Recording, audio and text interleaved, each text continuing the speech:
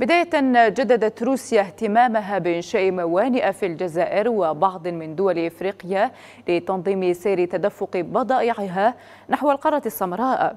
وقال مدير إدارة التعاون الدولي للتجارة الخارجية بوزارة الصناعة والتجارة الروسية رومان تشيكوشوف خلال مشاركته في المعرض الصناعي بأوزباكستان إن بلاده تعتزم إطلاق شرايين اقتصادية في القارة الإفريقية في الأمد القريب كما أنها تجري دراسات لإنشاء موانئ بكل من الجزائر ومصر والسنغال وتنزانيا.